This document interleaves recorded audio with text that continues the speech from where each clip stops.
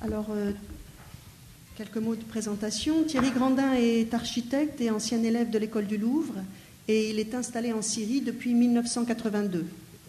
Après avoir enseigné à la faculté d'architecture euh, durant deux années, il crée en 1988 sa propre agence à Alep avec un associé syrien, Adli Koutsi.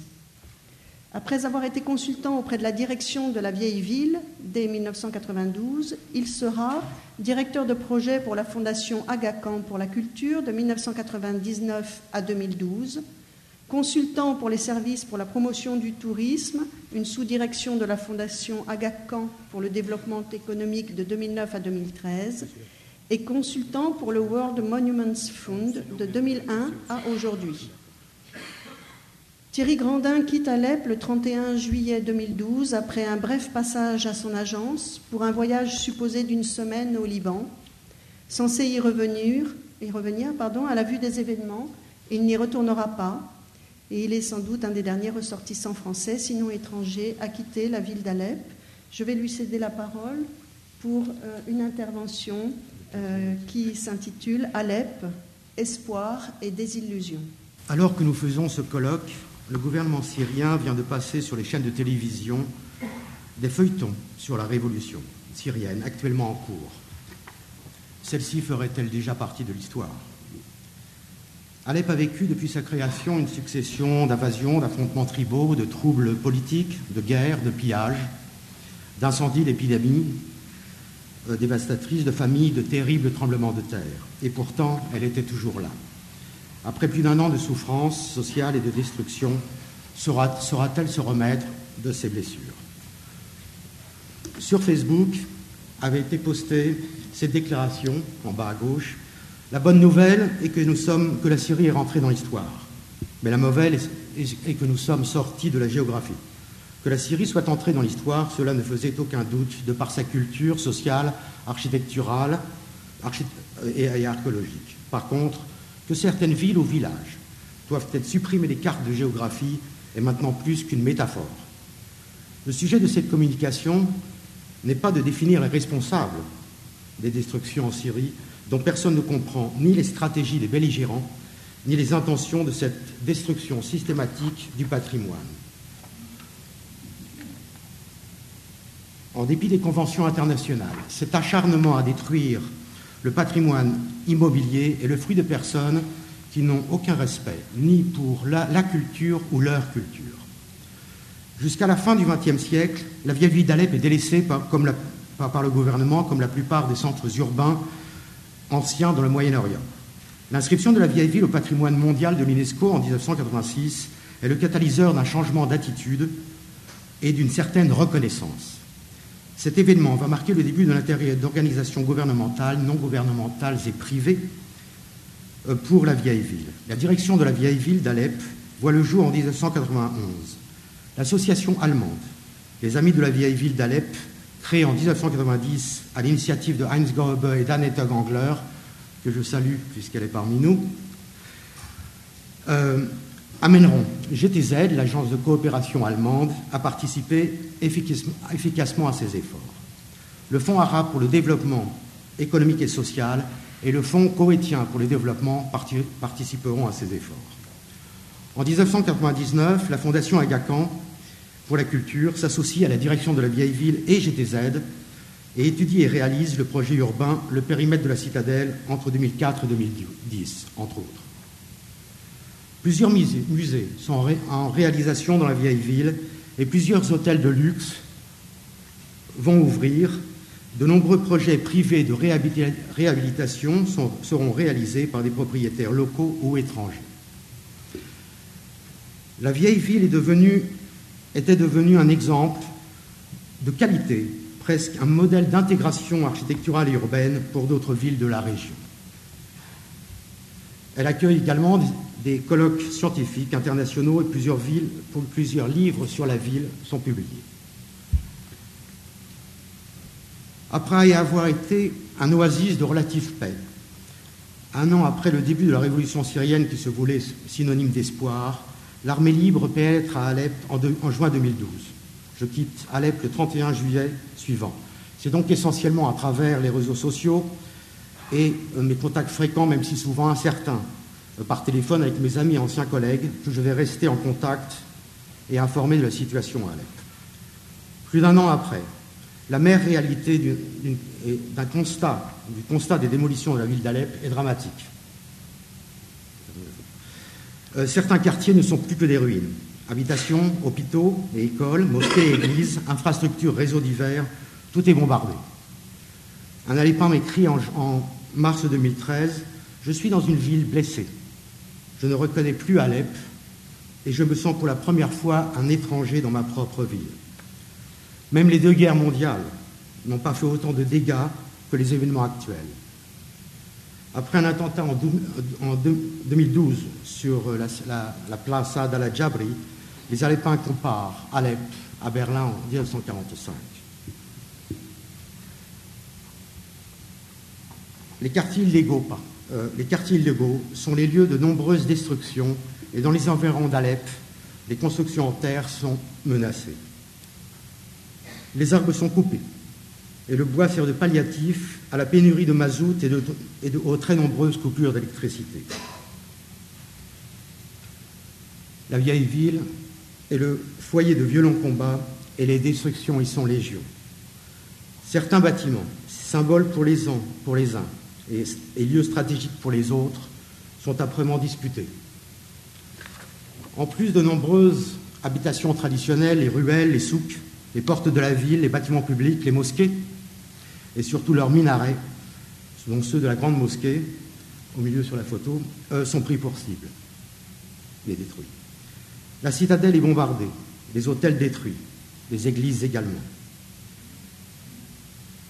Les musées sont pillés, les sites archéologiques ne sont pas épargnés, des réfugiés s'y abritent, du matériel militaire y est installé et des fouilles illégales sont entreprises.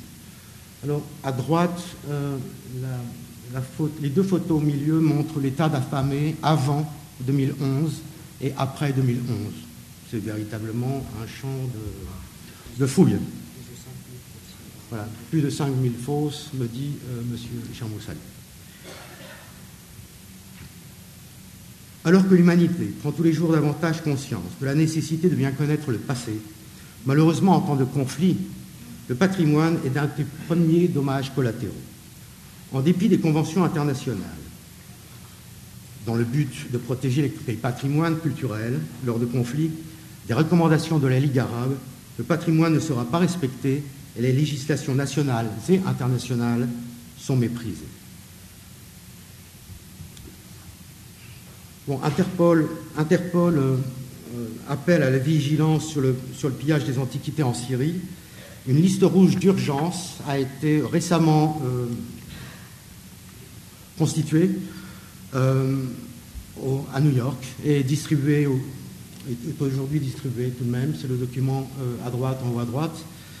elle, vise à, elle vise donc à alerter les autorités, les forces de police, les collectionneurs et les marchands d'art sur les objets susceptibles de circuler illégalement aujourd'hui ou dans le futur au sein du marché de l'art.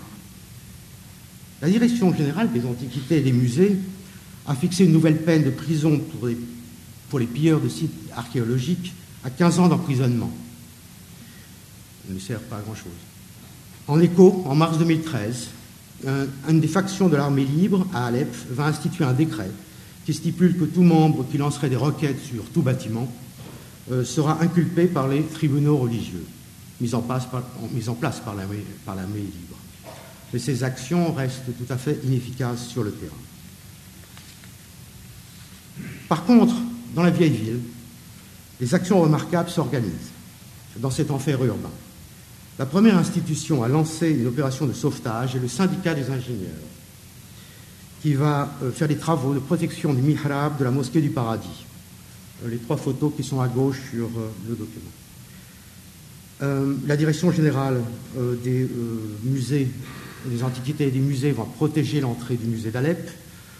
La, direction des antiquités dans la zone libre va faire des travaux, très récemment d'ailleurs, dans la grande mosquée pour protéger le tombeau de Zacharie et un très très beau cadran solaire qui est dans la cour, deux photos en bas. Et j'aimerais parler surtout sur les quatre photos euh, qui sont à droite.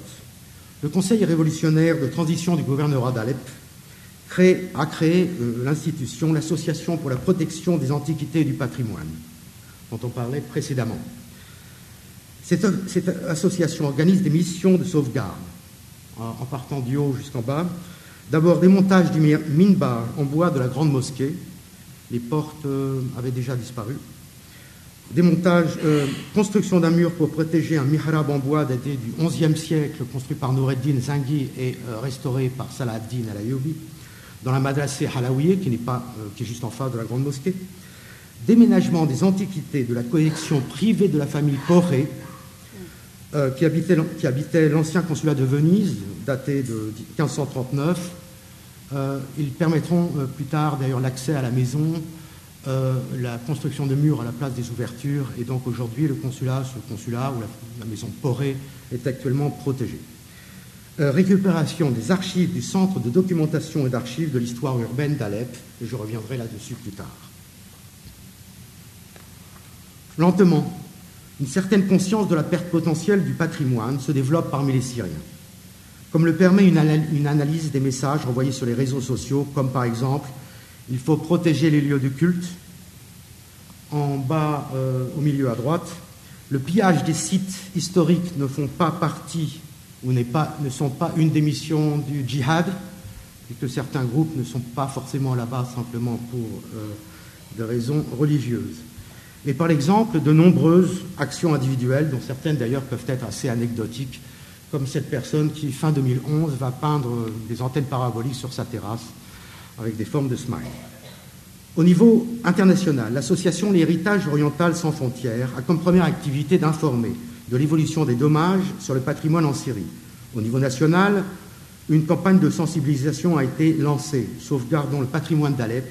Il est indispensable de conserver, notre passé pour le futur. Après d'autres actions comme protéger l'archéologie syrienne, le patrimoine archéologique syrien en danger. Euh, n'oubliez pas notre, héritage, sauver la ville d'Alep, l'héritage préservé. Enfin, le site Archéologie en Syrie pose la question s'il faut enregistrer des peines contre un génocide de l'héritage culturel syrien. Cette question rejoint ainsi les déclarations d'un chercheur du CNRS qui propose est-il possible et souhaitable d'imaginer la création d'un crime contre le patrimoine euh, Les bombardements aériens et les combats au sol dans la vieille ville, excessivement violents, fruit d'un acharnement parfois incompréhensible, vont y provoquer des destructions dont certaines resteront irréversibles.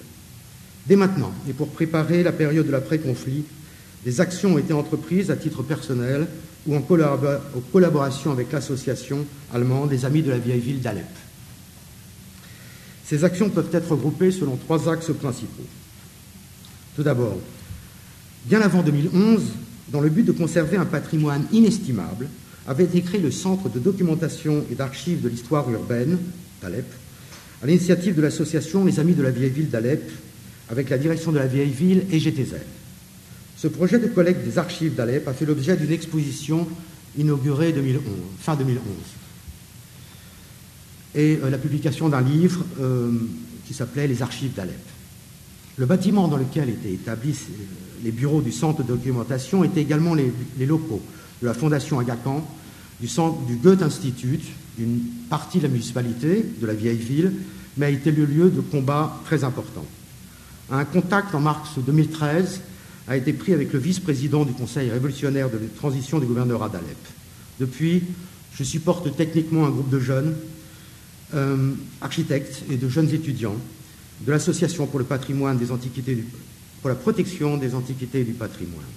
Ils documentent les dégâts dans la vieille ville, le travail sur le terrain se faisant sous la protection d'une faction de l'armée libre très coopérative qui s'appelle le Liwa al-Tawhid.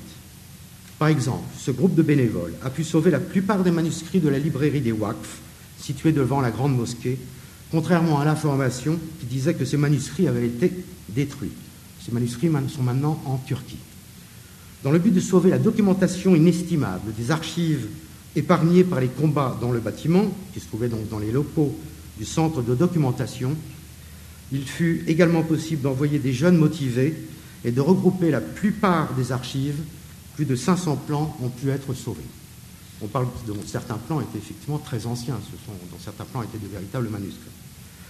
Dans une réunion en avril avec les membres du Conseil révolutionnaire, j'ai également proposé la création d'un groupe pour les restaurations urgentes, euh, pour des consolidations de bâtiments présentant des dégâts pouvant entraîner éventuellement des effondrements. Malheureusement, cette initiative n'a pas eu de suite pour cause de financement et de logistique sur le terrain, puisque excessivement dangereux. Malgré un silence caractérisé et caractéristique de la plupart des médias, nous avons trouvé l'appui de certains, trop rares. Le New York Times, notamment, euh, qui a publié plusieurs articles après avoir été contacté par World Monuments Fund. Je les informe régulièrement des destructions, copies des photos leur sont régulièrement envoyées. Plusieurs articles également sur de la BBC sur le titre L'héritage syrien sous la menace ont été programmés.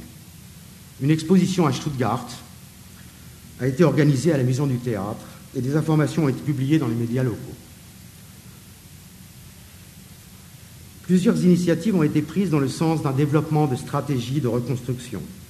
Organisation et participation à des colloques pour la définition de stratégies de reconstruction, comme celui qui est programmé fin novembre, début décembre, en Allemagne, dont le titre est Archives d'Alep en exil. Constituer dès à présent des réseaux d'institutions qui pourraient participer dans le futur aux efforts de reconstruction. Pour ce faire, plusieurs lettres et des dossiers avec euh, le, livre, une copie du livre Les archives d'Alep, ont été envoyés. Le premier a été envoyé au vice-président du Conseil révolutionnaire de transition des gouverneurs d'Alep, qui sont effectivement euh, très actifs, supportés par les Turcs et installés à Gaziantep, qui est à peine à 150 km d'Alep. Un autre dossier a été envoyé à la Fondation Agacan lors d'un rendez-vous à Paris avec Prince Amin Agacan, à la euh, World Monuments Fund, et un autre à Dar el Athar el Islamiyé, une institution coétienne qui a promis de participer à des efforts après la fin du conflit. Sur le long terme également, la réactivation d'un fonds euh, pour les projets de réhabilitation des biens privés dans la vieille ville sur un modèle comparable à celui mis en place par GTZ et la direction de la vieille ville par le passé, avec la création d'un fonds disponible sans intérêt aux habitants, reste une proposition essentielle. Il pourrait sembler cynique de discuter de la sauvegarde du patrimoine, alors que chaque jour décède presque une centaine de Syriens. Mais quand revient la paix, on tente de se reconstruire et de reconstruire un pays. Malheureusement, quand un pays a été violemment atteint, le patrimoine archéologique est souvent relégué à la dernière place après les urgences, bien compréhensibles, que sont les préoccupations basiques de la société. Pourtant, il en va de notre avenir. Ce patrimoine n'appartient à personne en particulier, mais à tous. Il est notre devoir de préserver ce patrimoine de l'humanité. Selon Jean-Claude David, la reconstruction du patrimoine de construction se fera entre des enjeux patrimoniaux, politiques et civiques. La reconstruction de la vieille ville représente un véritable défi. Il sera indispensable de former les architectes et les ingénieurs, ainsi que les ouvriers spécialisés dans la restauration, et assurer ainsi la, formation d'une main-d'œuvre compétente. Les règlements d'urbanisme pourraient faire l'objet de modifications. Lors d'une conférence organisée entre autres par l'IFAPO, j'avais insisté sur la nécessité d'introduire des éléments liés à la qualité des interventions architecturales dans la vieille ville et non plus seulement d'en contrôler des règlements selon des critères quantitatifs. La définition d'un véritable vocabulaire architectural basé sur nos nouveaux critères est maintenant une opportunité. Lors des années 1970-80, plusieurs axes importants de la vieille ville sont percés dans les quartiers anciens. Les règlements définis dans à cette période permettront la construction de bâtiments de plus de 8 niveaux pour certains. Ces éléments seront à prendre en compte dans le futur et pourront être des hypothèses de base pour définir une nouvelle révision des règlements d'urbanisme et d'une réflexion sur la hauteur de ces bâtiments par rapport aux constructions traditionnelles.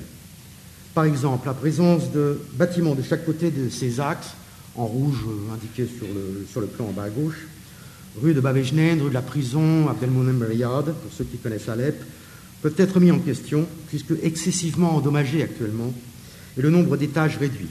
Les quatre bâtiments au nord, euh, en, bas, en bas sur la carte, en haut sur la carte, les quatre bâtiments qui sont euh, indiqués sur le plan, seront à détruire et remplacés par des constructions plus appropriées avec un ou deux étages seulement.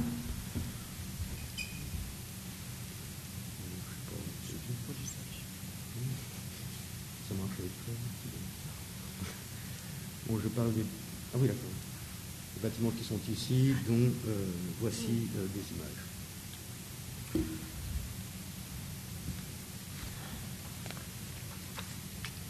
Enfin, nous ne pouvons pas réduire l'héritage syrien qu'à un héritage matériel, mais il était, est, et nous espérons qu'il restera porteur d'une image immatérielle qui me paraît tout aussi importante.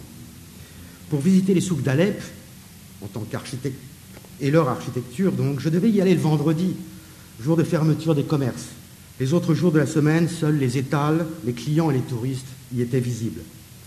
À ce sujet, Jean-Claude David écrit dans une conférence à l'IFPO en 2004 On peut se demander si dans le Moyen-Orient actuel ou ancien, ce qui compte beaucoup plus que les monuments, ce n'est pas des mots, des gestes, des pratiques, des attitudes, des savoirs, des savoir-faire, qui constituent un véritable patrimoine immatériel. Sur un site, La révolution syrienne en français, il était écrit Main dans la main, nous construirons demain. Malgré ce, drame, des initiatives même insuffisantes se reconstruisent. La population se substitue au service public. Les élèves suivent les cours actuellement à la lumière de bougies. Et le mot liberté est écrit sur un mur peint.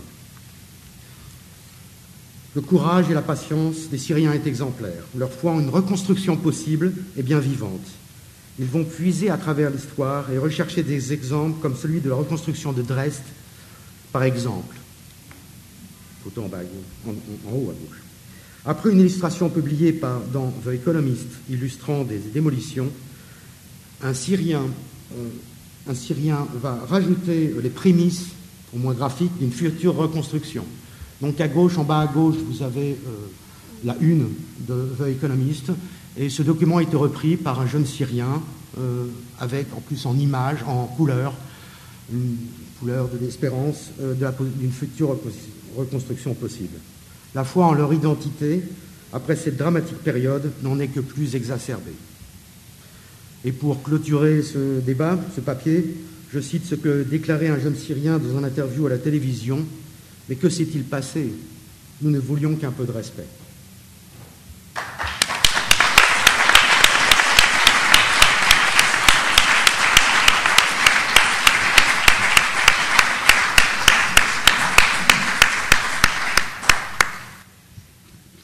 Merci Thierry et pour ces paroles très émouvantes.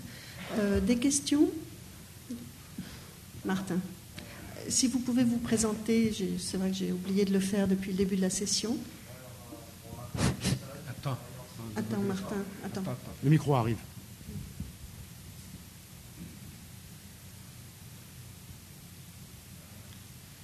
Martin Mackinson, j'ai travaillé sur des missions archéologiques en Syrie euh, donc, euh, depuis 1992, hein, en particulier en Djeziré, enfin, Chermous le sait bien, et dans la vallée de l'Euphrate. Euh, j'ai été boursier de l'IFPO, enfin l'IFAPO, hein, qui était indépendant, indépendante avant, maintenant qui fait partie de l'IFPO. Je travaille actuellement toujours sur des missions Moyen-Orient et en Arabie Saoudite maintenant, qui s'est ouvert à l'archéologie. donc ma question en fait c'était plus général, enfin, je, me félicite vraiment de l'exposé que vous avez fait, hein, euh, qui m'a beaucoup appris.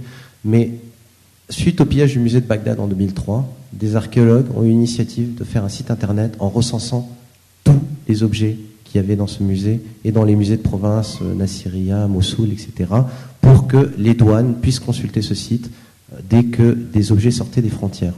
Euh, à ma connaissance, je, n'ai pas, je ne sais pas si une initiative semblable a été faite pour la Syrie, je ne crois pas et après deux ans et demi de conflit et des destructions qui sont au moins aussi graves que celles qu'a enduré l'Irak en dix ans d'embargo, 12 ans d'embargo, et donc euh, suite à, l'occupation américaine. Euh, il serait peut-être temps que les institutions universitaires, les, musées, euh, et même, je pense, même la, la, la DGAM, je ne pense pas qu'il y ait trouverait à redire, scannent des objets, scannent des photos d'objets dans leurs musées, dans leurs réserves, dans les maisons de fouilles qui sont également pillées euh, parce que des fouilles, il y en avait 70 ou 80 qui s'installaient, qui laissaient beaucoup d'objets en cours d'étude dans les maisons qui ont sans doute été dévalisées. Hein. Je pense aussi au petit musée qui est sur le site de Dora Europos, hein, qui, avait été créé quelques années euh, euh, avant, la Révolution. Est-ce qu'on pourrait pas lancer cette initiative? Je veux dire, mieux vaut tard que jamais. Que ce soit consultable par les douanes, par les institutions, par les maisons comme Christie's et Sotheby's en Angleterre ou, ou Drouot, et euh, qu'on puisse au moins, non seulement les objets connus qui sont en vitrine, hein, euh, le cavalier de Raqqa, euh, des, tablettes des Blas au musée d'Alep, mais des, objets qui sont également dans les réserves. Je sais que c'est très difficile, de très longue haleine, mais ce serait consultable en temps réel lors de saisies notamment. Mm-hmm. Voilà. Je peux répondre? Ça marche? En fait, ce document existe. La première page, c'est le deuxième document en partant du haut à droite. Euh, il a été fait euh, très récemment, je l'ai dit dans mon exposé, euh, beaucoup de choses ont été faites récemment. Il, a été géré par le Metropolitan Museum of Art. y ont participé l'ICOM, le Conseil international des musées. il a été supporté par l'UNESCO, World Monument Fund, avec lequel je travaille, y a participé également, et le département d'État américain. C'est un document excessivement long et une des deux euh, société de, vente aux gens chers y a participé et a sponsorisé euh, le mouvement. Je ne sais pas laquelle, de Sotheby's ou de Christie's, mais en fait ça existe. Ce document fait plusieurs pages, il a été plutôt, plutôt très bien fait. Ils ont été recherchés en fait des photos dans d'autres musées de choses qui existent pour montrer ce qui pourrait disparaître, parce qu'il est impossible de faire aujourd'hui euh, l'inventaire de tout ce qui pourrait être pillé à partir de la Syrie. Enfin, ça n'arrête pas de passer, c'est clair. Liban, Turquie, c'est clair. Voilà. J'habite pas très loin de la frontière turque, il n'y a pas que le Liban. Donc, en, fait, cette liste rouge, la différence de ce que, avec ce que, ce que proposait Martin, c'est que cette liste rouge, elle recense des types d'objets. Oui. Hein, elle propose à, tout le monde de voir des types d'objets que l'on a pensé susceptibles d'intéresser le marché euh, illicite. Euh, de fait, faire un inventaire, euh, une base de données, euh, des objets euh, patrimoniaux syriens. C'est une entreprise colossale. Il faut inviter euh, toutes les missions archéologiques voilà, qui ont une base de données de photos, mais il faut trier, il faut catégoriser, trier les choses. C'est quelque chose qui peut être fait, mais qui est colossal à l'échelle de la Syrie, étant donné aussi la dynamique de la recherche que vous connaissez, étant donné l'état des inventaires aussi dans les musées parfaitement lacunaire. Hein. Donc on sait ce qu'on a dans des vitrines, mais on sait très peu ce qu'on a. Voilà. Absolument. Absolument. Absolument. Donc c'est une entreprise colossale, à l'image de ce qu'est le patrimoine syrien.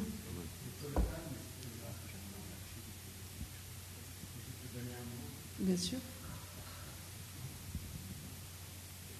C'est vrai, c'est colossal, mais c'est tout à fait faisable. J'ai travaillé avec des missions archéologiques effectivement, ils ont des listes et des photos de tous les objets livrés à la direction des antiquités. Donc, il faut les appeler parce qu'ils ont, chaque mission, il a une liste complète de toutes les choses qui sont trouvées et données. Donc, je pense que c'est faisable.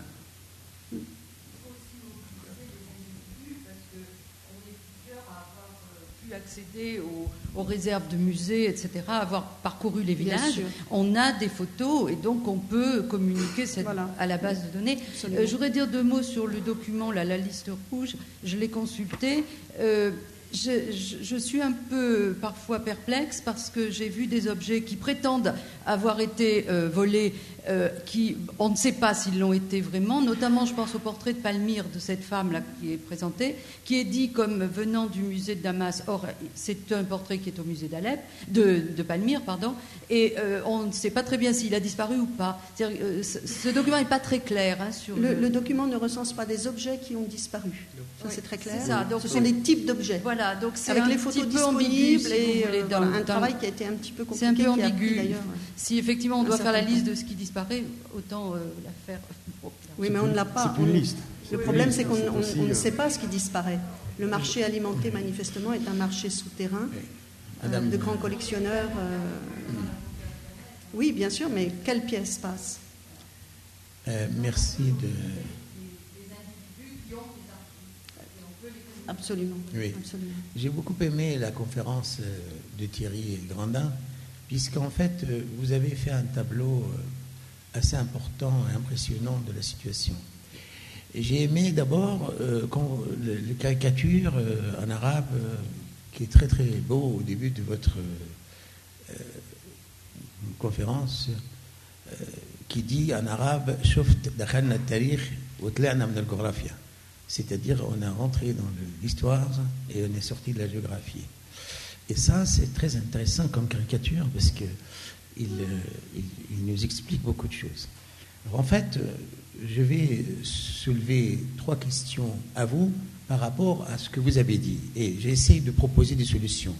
Vous avez parlé du crime contre le patrimoine qui, euh, vous avez parlé des génocides et, des crimes contre l'humanité. Et moi, tout, simplement, je peux vous faire une proposition ici pour dire, il suffit de rajouter le mot crime contre le patrimoine de l'humanité pour que ce soit euh, discuté et, et, sur le plan légal appliqué. Et je pense que ça peut se, on peut soulever ça à un juriste, mieux que moi, pour vous dire oui ou non, et je crois que ça sera réglé très rapidement euh, par l'UNESCO.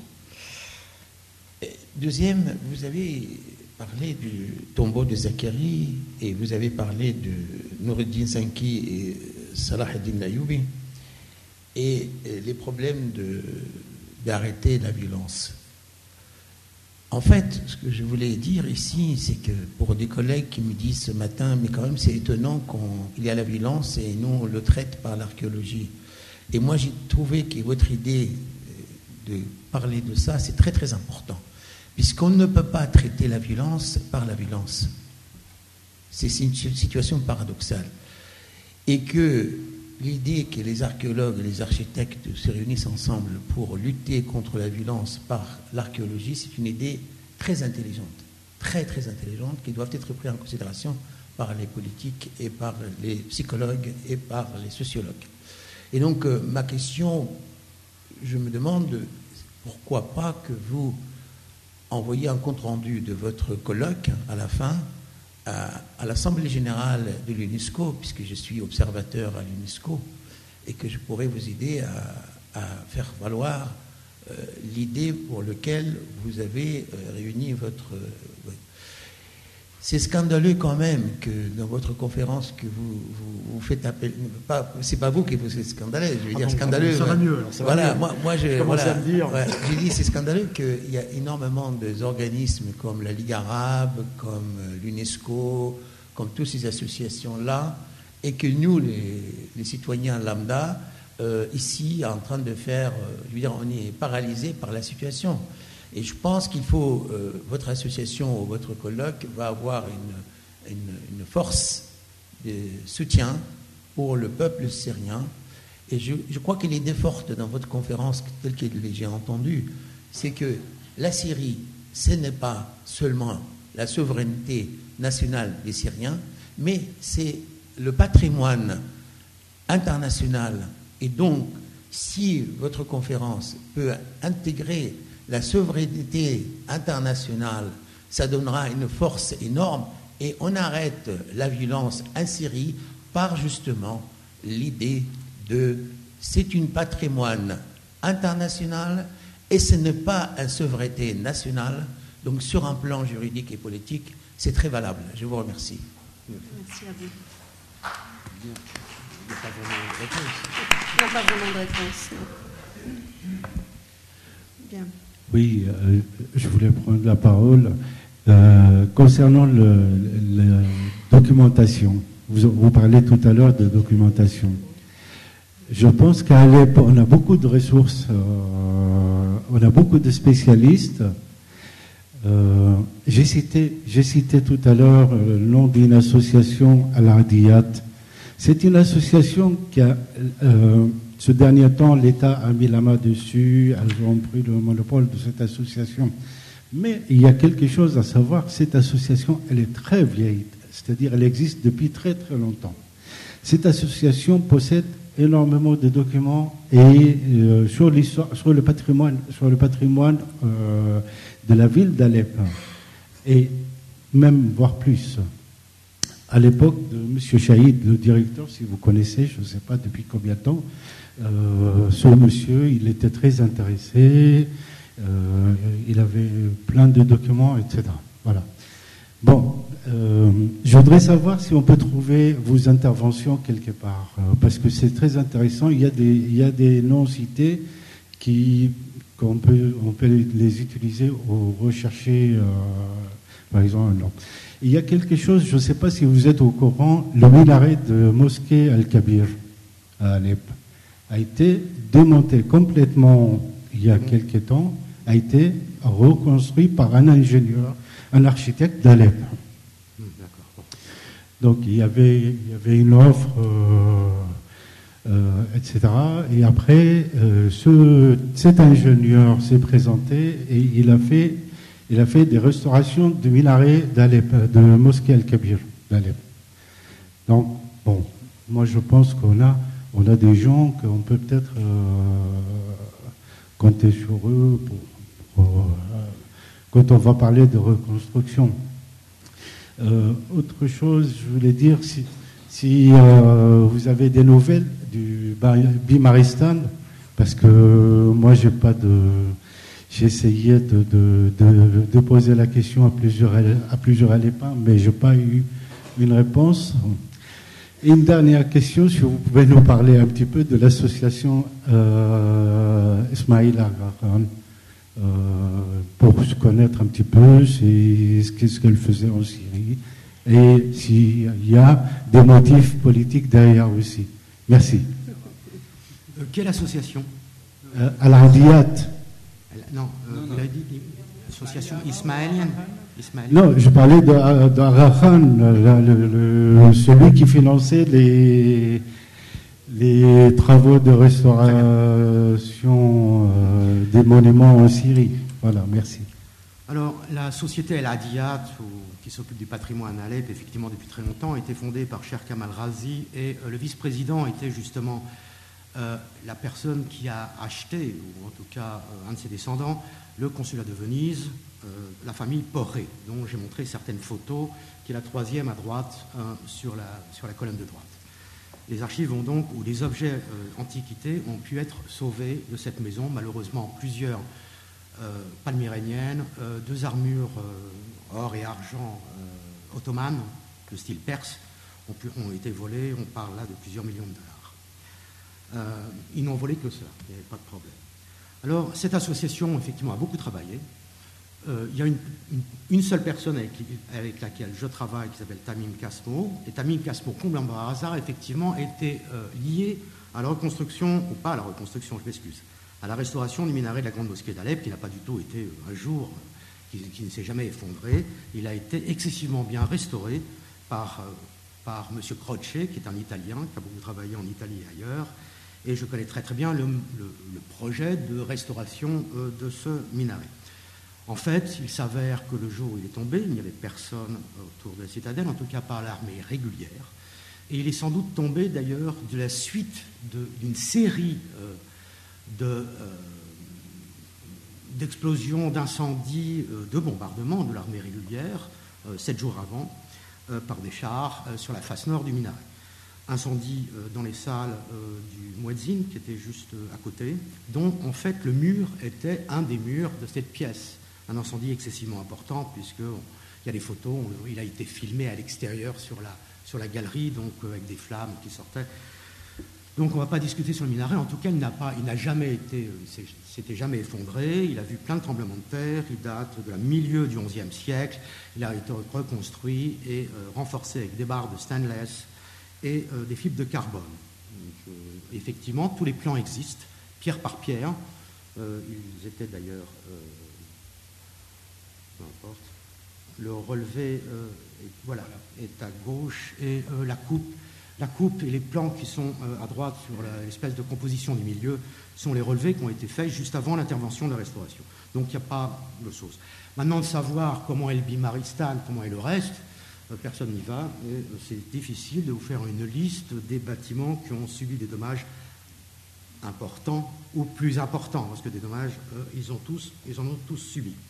Donc le Bimaristan. Maintenant, la Fondation Aga Khan travaille dans de nombreux pays islamiques depuis très longtemps. Elle a toujours eu pour vocation de participer à des restaurations de bâtiments de la culture islamique essentiellement. Elle, a travaillé en Égypte, par exemple. Le parc El est un très grand projet qui a été fait avec la restauration, par exemple, du euh, mur euh, euh, fatimide et ayoubide, puis ayoubide du Caire. là, il ne s'agit absolument pas de, de, structure ismaélienne ou autre chose. Il y a ce qu'on appelle dans la fondation Aga Khan, il y a à Paris ou à côté de Paris euh, le imam, donc la responsabilité euh, de cette communauté religieuse, et puis il y a une, institution qui est la Fondation Aga Khan pour la culture, qui va travailler en Afghanistan, qui va travailler euh, ailleurs, et qui n'a rien à voir, en ce qui concerne la, Fondation Aga Khan pour la culture, il n'a rien à voir avec un site typiquement ismaélien ou pas.